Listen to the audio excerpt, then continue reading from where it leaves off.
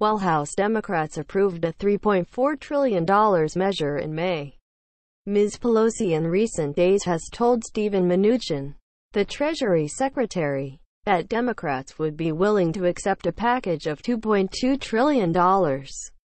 Mnuchin, for his part, has signaled that the administration may be willing to accept up to a $1.5 trillion package.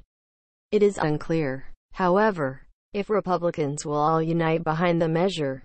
Fiscal hawks are deeply reluctant to embrace more spending after an infusion of nearly $3 trillion this spring, and the Congressional Budget Office said on Wednesday that government debt had ballooned in the 2020 fiscal year and nearly outpaced the size of the economy.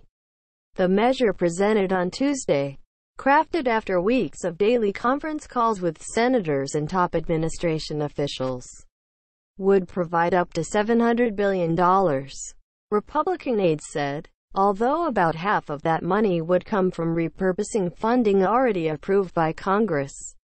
In the stimulus law enacted in March, that law provided funding for the Treasury Department to guarantee loans made by the Federal Reserve to distressed companies hundreds of billions of dollars of which remains unspent.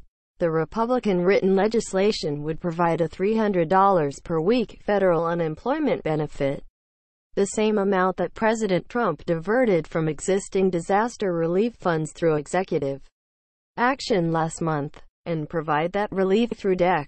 27. Democrats have pushed to revive the full $600 per week payment established in the March stimulus law at least through January. The Republican plan would also include liability protections for hospitals, businesses and schools operating during the pandemic, and would forgive a $10 billion loan given to the Postal Service in previous relief legislation.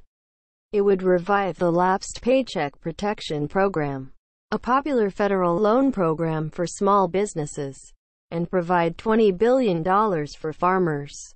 $105 billion for schools, $31 billion for the development and distribution of a coronavirus vaccine, and $16 billion for testing. Republican leaders also agreed to include a tax credit championed by Senator Ted Cruz, Republican of Texas, to reimburse donations to scholarship funds that help pay for private school tuition and other expenses with some bipartisan objection to the provision. The tax credit is not permanent, as Mr. Cruz had initially intended, but instead will last for two years.